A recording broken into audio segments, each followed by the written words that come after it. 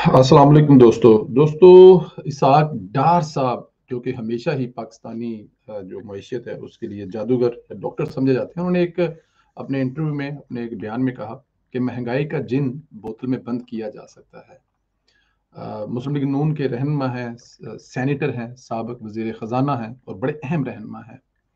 डार साहब का कहना था कि बजाय इसके कि हमारा सारा फोकस मैशियत महँगाई पर हो, हम एक्सटेंशन जैसी चीज़ों में उलझे हुए हैं। जिस पर इतना वक्त सर्फ करने की ज़रूरत ही नहीं है। एक्सटेंशन देनी है या नहीं देनी, मांगी जाएगी या नहीं, ये सारी ज़िम्मेदारी हुकूमत पर है। जब वक्त आएगा तो इस बात का फैसला कर लिया जाएगा। ये बात किसी हद तक ठीक भी है और इसका बहुत ज़्यादा ज़ोर या शोर जो किया जा रहा है वो इस मामले में डार साहब का मेरे ख्याल में ये कहना बिल्कुल मुनासिब है कि जब वक्त आएगा तो हुकूमत फैसला कर लेगी।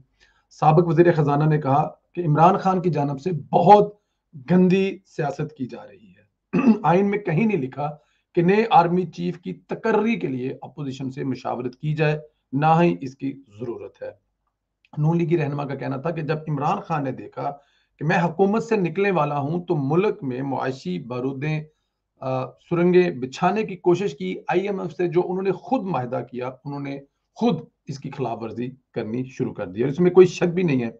जब उन्होंने देखा कि यार ये तो आ, मैं इस हुकूमत से निकल रहा हूँ ज़ाहिर है अब पहले से कुछ दो चार महीने पहले अपोजिशन क्योंकि इस पर मसरूफ थी कि वो लेके आएगी तहरीक आदम इतमाद और इमरान खान साहब को पता था कि उनको लाने वाले इस दफ़ा बंदे इकट्ठे करके उनके लिए नहीं लाएँगे तो उन्होंने जो अगला गंदा खेल खेला बहुत ही गंदी सियासत की वो ये की कि उन्होंने जो खुद माहदे किए हुए थे आईएमएफ से उनको भी पूरा नहीं किया। और जिस वक्त पूरी दुनिया में महँगाई हो रही थी पूरी दुनिया में पेट्रोल महँगा हो रहा था, उस वक्त उन्होंने एक जलसे में तकरीर करते हुए ये फरमा दिया कि पेट्रोल की कीमत अब नहीं बढ़ेगी। तो मेरे ख्याल में ये डार साहब की बात से हर जीशोर इंसान एग्री करेगा कि जब मुल्क में उन्होंने देखा कि उनकी हुकूमत ख़त्म हो रही है और वो उनकी छुट्टी होने वाली है तो उन्होंने ये काम किया कि मुल्क में अपने वजारतें उजमा खत्म होने से पहले ऐसे जाल बिछाए कि आज तक हुकूमत उससे नहीं निकली। आगे जाके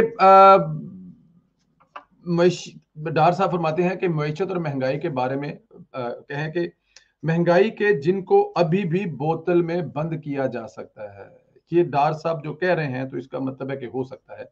लेकिन इसके लिए सबसे पहले डॉलर की बढ़ती कीमत को कंट्रोल करना, रुपए की वैल्यू को बेहतर करना होगा। इनका कहना था कि तहरीक इंसाफ हुकूमत की जानब से फंड सब्सिडीज के मामले पर कौम और बैन अवी कम्युनिटी से झूठ बोला गया कि सब्सिडी है, लेकिन ऐसा नहीं था। उन्होंने अपनी सियासत को रियासत, उन्होंने अपनी सियासत को रियासत के ऊपर तरजीह दी और वो आप लोग समझ सकते हैं कि उन्होंने कहा कि अपनी सियासत बचानी है, लेकिन मुल्क जाता है, जाए पहाड़ में, मैं अपनी सियासत ही बचाऊँगा।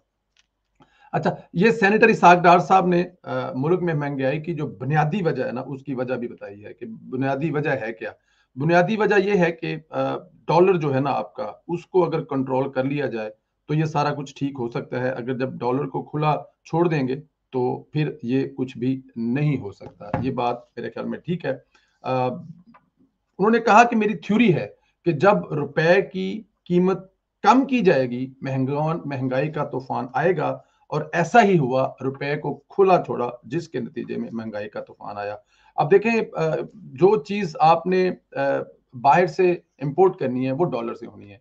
जो डॉलर डार साहब ने सौ रुपए पे रोका हुआ था अब जो चीज़ बाहर से आ रही थी चाहे वो मशीनरी थी चाहे वो आपका रॉ मटेरियल था चाहे वो आपकी जो भी चीज़ बाहर से आ रही थी वो डॉलर बाहर जाएगा एक, एक एक मिसाल लेते हैं कि आपका फ़ोन बाहर से आ रहा है तो वो आपको डॉलरों में पैसे देके खरीदना होगा। तो जब आप डॉलर ही ढाई सौ रुपए का खरीदेंगे तो महँगाई का तूफ़ान तो आ जाएगा। और वही डॉलर अगर सौ रुपए का होगा, आप देखें, एक नॉर्मल बात कर रहे हैं, नया फ़ोन आ रहा है, उसकी कीमत छह लाख, पाँच लाख बताई जा रही है। वजह क्या है कि डॉलर दो ढाई सौ रुपए का है।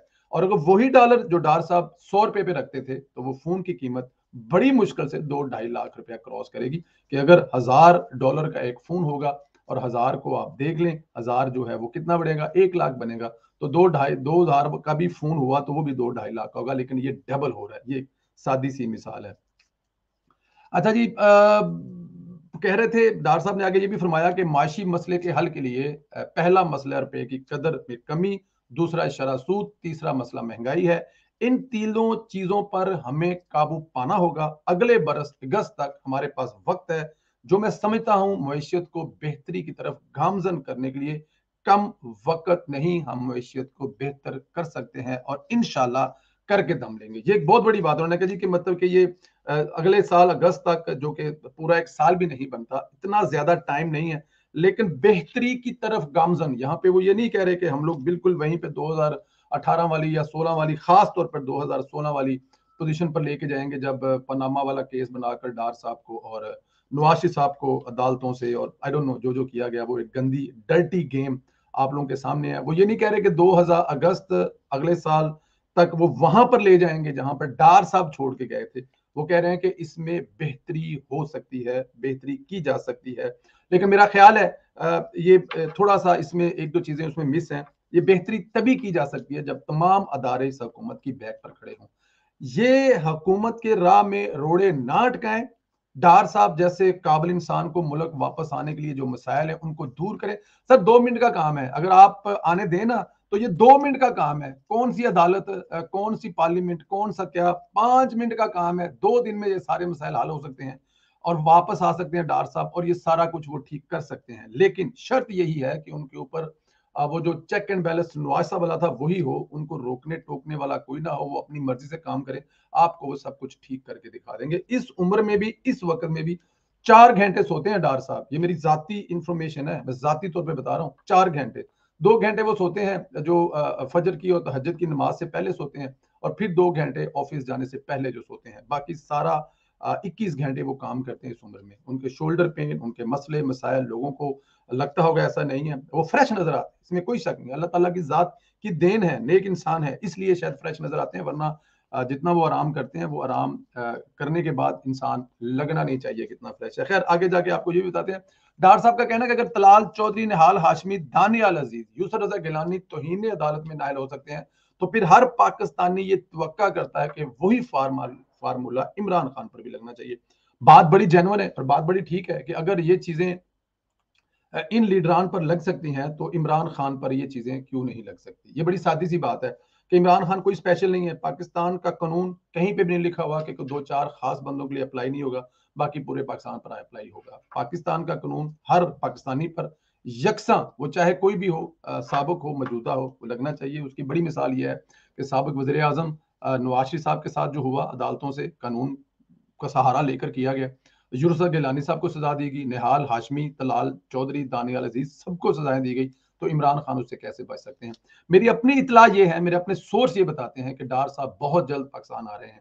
बहुत सारे मामला जो है वो ठीक हो रहे हैं, ठीक हो चुके हैं और इन ताला अगले दो महीने जो है वो बहुत अहम है। दो महीने भी ज़्यादा कह रहा हूँ, शायद दो महीनों से पहले भी। डार साहब जो है पाकिस्तान हो सकते हैं और हो सकता है कि नवाज़ साहब उनके साथ हों या अगले मरहले पर नवाज़ साहब भी वापस आए। लेकिन ये साल जो एंड है, अगले साल का सूरज जो है, ये दोनों बड़ी शख्सियात जो है, ये पाकिस्तान में देखेंगे। ये आपको मैं दावे से कह रहा हूँ सोर्स बताते हैं। मैं अब, क्यों ज़ाहिर है, हम बहुत सारी चीज़ें तो उसको डिस्क्लोज नहीं कर सकते। लेकिन अगले साल 2023 का सूरज, ये दोनों बड़ी शख्सियात पाकिस्तान में बैठकर अपने अपने घर लाहौर में बैठकर। हो सकता है कि डार साहब इस्लामाबाद में बैठकर देखें और मियाँ साहब जाती उम्र में चढ़ता सूरज 2021 जनवरी का देखें। अपना ख्याल रखें, मुझे इजाज़त दें। अल्लाह ताला की जात आपको अपने